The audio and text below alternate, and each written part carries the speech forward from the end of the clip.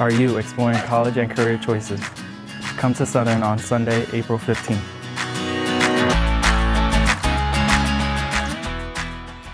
At Discovery Day, you can explore the inner workings of the human brain, go behind the scenes of our TV studio, and find invisible matter in our nanotechnology lab.